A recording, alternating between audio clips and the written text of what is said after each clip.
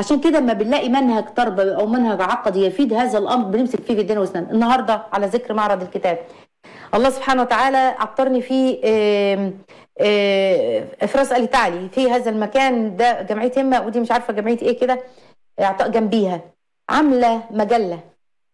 أنا طبعا أنا الف تربية. يعني الحاجات دي كانت بقى إيه لعبتي أعملها للأولاد بقى. كنت أنا اللي بألف والله يا منى. والله ما كان في مصادر زي مثلا خلصنا قصص الأنبياء وخلصنا السيرة وخلصنا النبي صلى الله عليه وسلم والصحابة والرجال حول الرسول ونساء حول الرسول. وجميع ما تتخيلي من الرموز. عايزين قصص.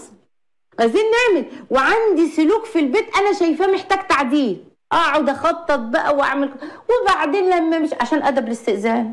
نعم. أعمل قصه وبعدين علشان إزاي أنت تاخد حاجة من حتى من حق اللي هي القضية بتاعت إزاي إنك تاخد برتقالة وقعت من الحق وده يحق لك الأمر الفقهي لازم نجيبها بقصه فوجئت بمجلة مش عارف اسمها عطاء ولا إيه تحفة.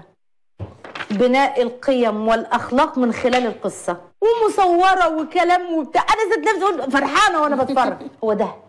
إحنا عايزين لأولادنا ده. المدرس والمعلمة والمعلم اللي بيعلم الأولاد لازم يبتكر.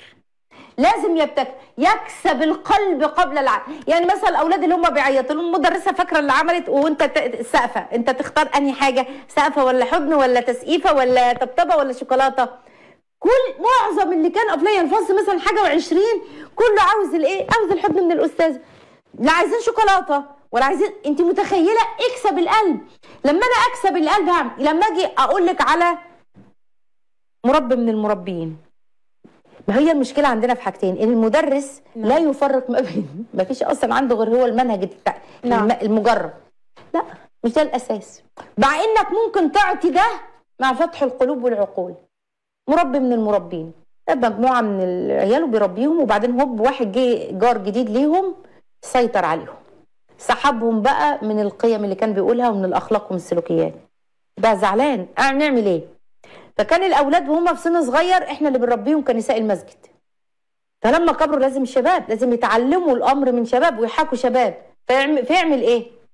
أعمل كده. قلت له روح لو عرفت تتصاحب على ده. على اللي هو القائد اللي لمهم ده. قعد شهر كامل. شهر كامل يروح للبيت. ويكلمه ويجيب له مش عارفة إيه. وإحنا عندنا دورة كورة كذا شهر. لحد لما خلاص الولد كان في في عازم الأستاذ دوت عنده وأهل بيته طبعا فرحانين إن في حد مربي بيقول كده بتوع مسجد. فأصحابه بيقولوا له أنت فين وبتاع؟ لهم لا عندي ضيف وبتاع وكده. أهو عايز يكلمكم. يفاجئوا الأستاذ فلان اللي كان بيقول لنا على إيه يا أستاذ أنت بتاعنا مش بتاعه أنت بتاعنا. كسبهم. نعم. بس خلاص. كسب العقول. لما أجي أشرح حتى ولو صعب والله. البنت اللي كانت بتتكلم بتقول أنا السودة بتقول كده على نفسها.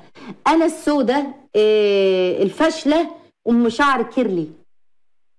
ده اللي كان إخواتها كلهم بيض بيحصل عليها تنمر من العيلة كلها. نعم. أمها مش عارفة تجابه ولا عارفة تشوف تشوف السخريه اللي بتتم من بنتها ديت وما كانتش خط دفاع عن بنتها. البنت انتكست. ما انتش عارفة ده انت كذا. انت طالعة شكلك يمين انت عاملة كده ليه؟ هو انت جاية من افريقيا هو انت تنمر رهيب وسخرية غير عادية نهى الله عز وجل عنها. نعم. لحد ما جه مدرس. الله إيه الأكسنت بتاعتك دي؟ وهي أصلا بتجيب صفر. وخلاص بيطلعوها وتدرس في البيت أو تقعد خلاص مش عايزينها في المدرسة. إيه مدرس. لا إيه الأكسنت بتاعتك دي؟ انطقي كده قالت له قال لها ممتاز تعالوا اتعلموا منها. فعارف دي ثقة.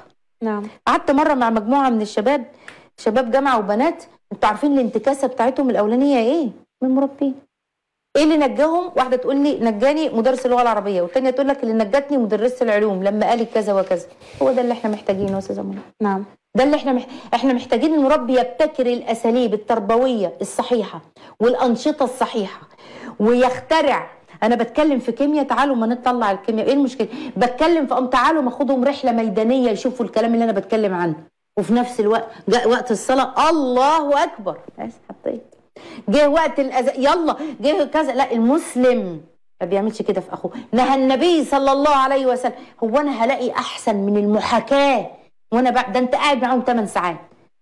شفت مدرسة موجودة حاليا. نسيت اسم صفحتها. هبقى اجيبها هحطها لكم في اللينكات. اللهم بارك عليها. فسرت جزء عامة وأسقطته على الأحداث في غزة. وكانت عاملة ورشة وجايبيني من الورشة اللي هي عاملاها. اللهم بارك عليها. اسمها نسيت اسمها.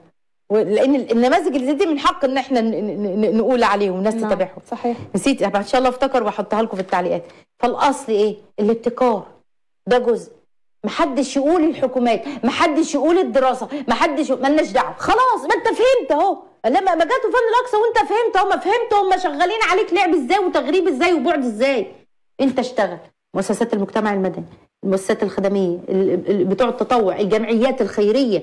جزء خاص بتربية الجيل.